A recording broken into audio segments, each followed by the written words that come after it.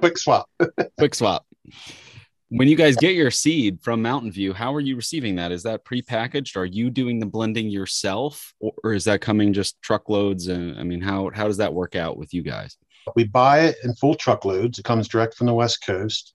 And what I'm going to do, I'm going to share a uh, share my screen here real quick, which is, and you can see this is an actual seed mixer. Um, they harvest the seed, they put it into bags, and then they wait for testing to come, make sure it's as clean as possible.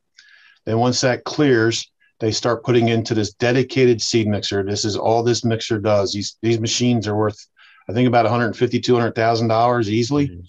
Um, and all it does is mix 365 Kentucky bluegrass seed.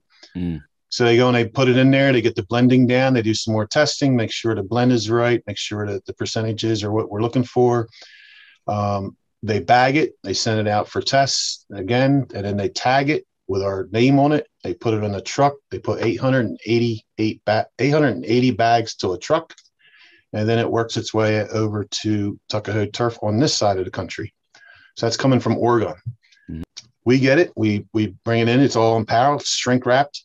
We put it in our warehouse.